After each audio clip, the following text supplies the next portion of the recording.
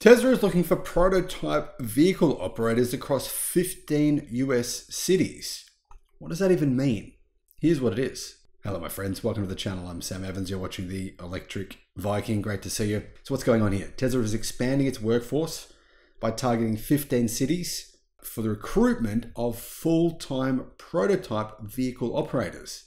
This is a critical role, say Tesla, aimed at enhancing the full self driving capabilities of its vehicle and delivering on its robo-taxi promises on the 8th of August this year, when that vehicle is meant to be unveiled, possibly along with a $25,000 EV as well.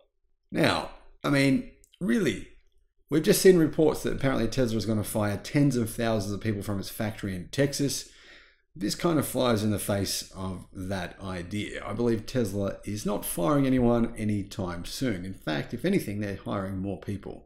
Located in Brooklyn Park, Minnesota, among other locations, this position is essential for the data collection efforts that support Tesla's advancements in autopilot and robotic technologies, says the job description. Speaking of the investment that Tesla are making here, this is going to cost Tesla a lot of money.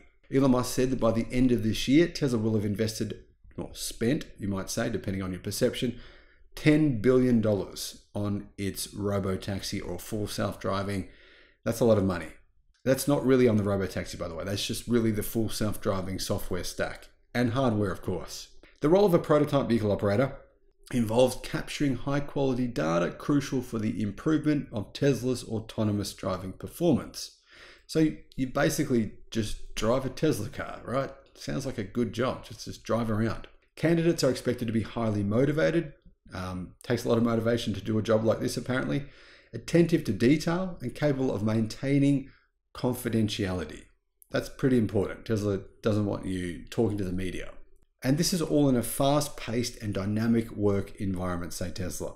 The job demands a flexible schedule with shifts available from 5 a.m. to 1:30 p.m. or 5 p.m. to 1:30 a.m.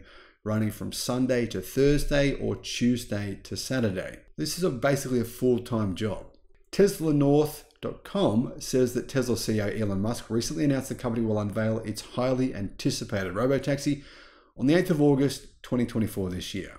Is this involved in that? I think it is. I think um, really Tesla still has some work to do. Full self driving is working really, really well. Is it perfect? No, it's not perfect. I mean, I'm sure you've seen many reports over the last couple of weeks criticizing it. Some reports are saying it's amazing. A lot of them actually are saying it's amazing.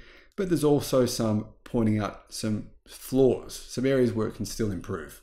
The point is here to get those edge cases to improve it. Responsibilities for the position include operating a vehicle within a designated area to collect data, managing and recording devices, performing minor equipment and software debugging, and reporting on data collected during shifts. Operators are expected to provide feedback on data collection processes.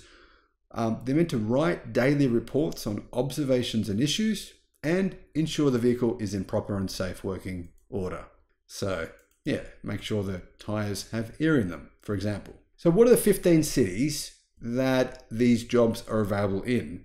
Arlington, Virginia, Elgin, Illinois. Sorry if I don't pronounce all these names correctly.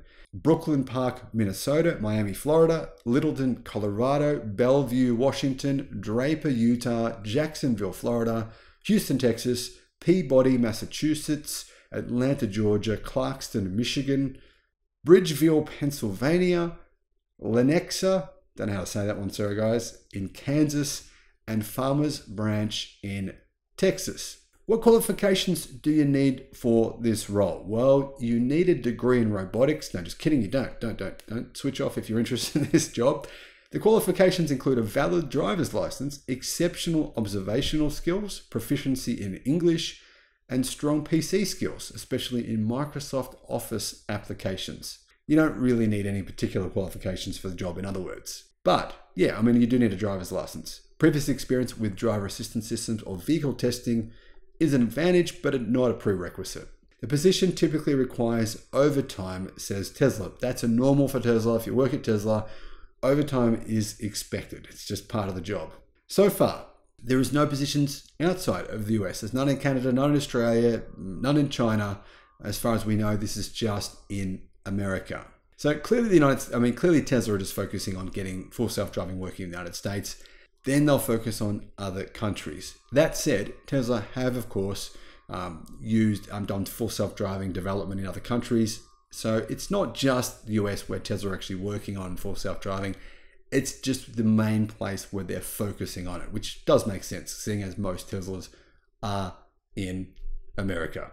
Guys, let me know your thoughts on this. Are you going to apply? Um, do you think Tesla will solve full self-driving this year? Is the whole robo taxi thing um, uh, something that's doomed to fail? I don't think it is personally, but what are your thoughts? Thanks for watching.